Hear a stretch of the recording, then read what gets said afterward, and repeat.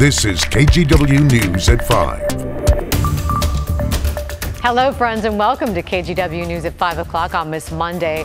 Oregon health leaders still haven't put out any clear guidance on how the state's retail businesses will follow new CDC guidelines on masks and social distancing. That is leading to a lot of confusion and a variety of different practices out there. KGW's Pat Dooris looked into what's going on today, and he joins us live. Pat. Well, Dan, after Governor Brown last Thursday said that yes, Oregon would follow the CDC's new relaxed guidance when it came to COVID masks both inside and out, actually nothing changed when it came to indoor retail for the masks. But a lot of people thought that it had changed. And now it appears that some of the biggest companies in America are violating Oregon rules because they thought this state, like many others around the country, had dropped that mask mandate. In the greater Portland area, it's still common to see people wearing masks outside, although it seems like more and more of us are getting comfortable with the CDC guidelines that allow us to drop them, especially if we're fully vaccinated. Those same national guidelines say vaccinated people do not need a mask in most inside settings. But the state of Oregon said, not so fast.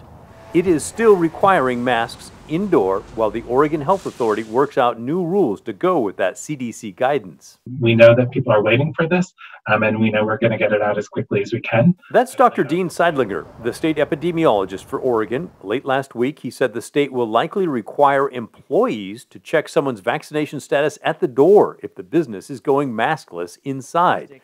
It's not what people like Dan Afrasiabi want to hear. Standard retail teams are just not trained to be able to review things like vaccination cards or photos of vaccination cards. So it just needs to be well thought out. He owns several Planet Fitness gyms around the state. He said his company will follow whatever requirements the OHA sets out, but he thinks it should not be tougher than what the president rolled out last week. We think some kind of an honor system consistent with what Pre- President Biden and the CDC have said, uh, as they've outlined, are sufficient to achieve the right balance for businesses and, and for uh, Oregon citizens. In the meantime, it seems mask mandates are all over the board.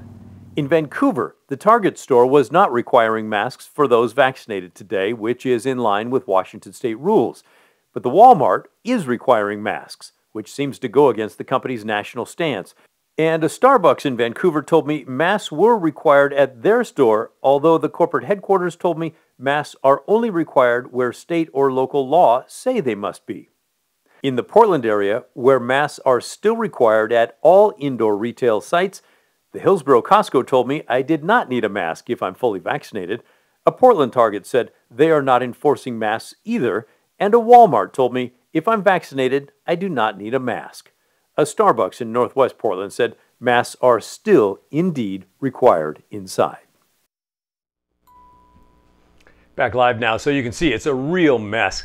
The governor's office late today responded to my email from this morning saying that it's a very complex issue and it's going to take a lot more time to work all this out. Frankly, I think one of the tougher things for them to work out is going to be that whole vaccine passport and whether employees really have to ask for it. I doubt hardly anybody is interested in doing that. Back to you. Well, thank you for making it a little more clear for us amid the mess. Thank you, Pat. Let's talk about small businesses. They've been rolling with the mask mandates for more than a year now. And now they're dealing with it differently in Oregon and Washington. We checked in at Hood River today where not much has changed yet in light of a CDC guidance. That's because, as Pat just laid out, Oregon has not put out its rules connected to the CDC plan.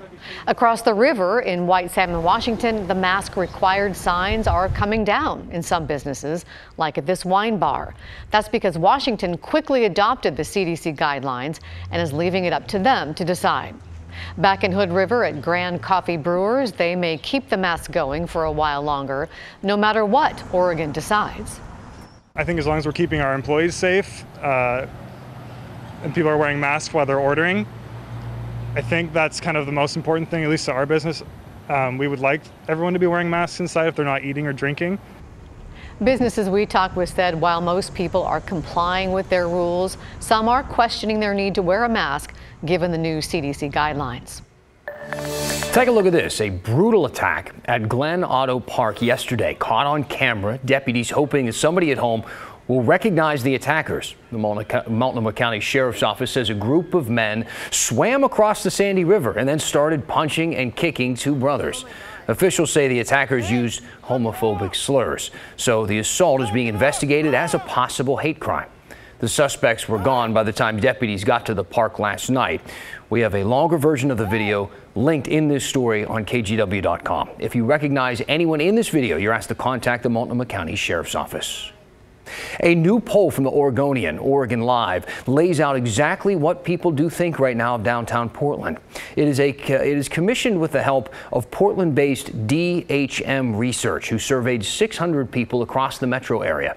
And honestly, the results may not surprise you very much. When asked about safety, 42% of people they were polled and said downtown was much less safe than it was a year ago. Another 21% said it was somewhat less safe. When asked about why people don't come downtown anymore, more than 60% listed a combination of recent protests, the growing number of homeless camps, and general concerns about safety. Did these findings surprise you? A lot of what's in this poll is the same things that people have been saying for the last six months or, or longer. So, not necessarily a surprise, um, but I, we went into the poll just wanting to hear what people had to say and uh, see where it went. Yeah, not a surprise, but important nonetheless, especially when you look at the question about how our government officials handled these crises and what those officials have to say about it. We're going to dig a bit more into this poll tonight at 6 o'clock on the story. Eight months ago, historic wildfires wiped out a small mountain town nestled in the Cascades, a town with tourism as its backbone. The wildfires could impact tourism season in Detroit, which starts next week. But as people there clean up and begin rebuilding, hope trumps the hurt. Here's Morgan Romero.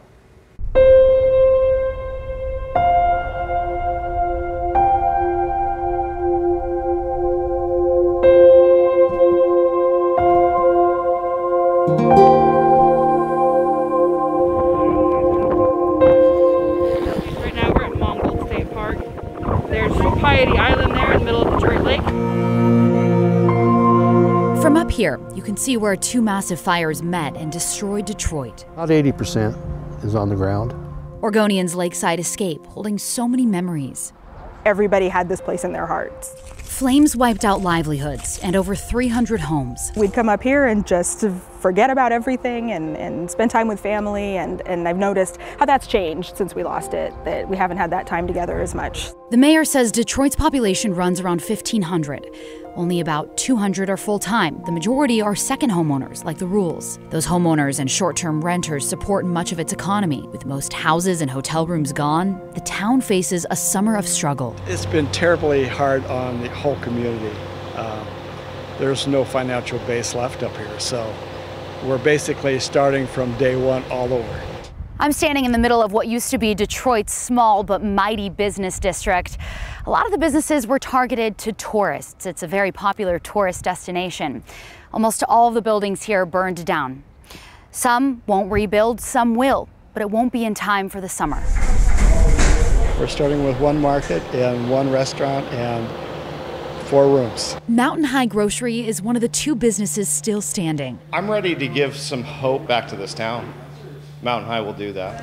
Put them on. Closed since September, they're rushing to reopen Memorial Day weekend when peak season sets in. Travel Salem estimates almost a million people visit Detroit every year, spending a total of around $50 million. The bulk of that comes in the summer. And most of our tourism is based around the lake. I think the tourism will be here.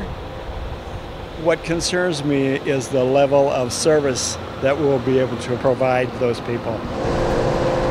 On the main drag, the mayor says food trucks will take the place of restaurants. We're going to do more food trucks on that corner over there. So three corners will be food trucks, food carts. On the lake, there's a lot in there that we can't replace. Marina's lost buildings, but the docks survived. People can rent through Detroit Marina when they get power. They didn't lose any of their 37 rentals.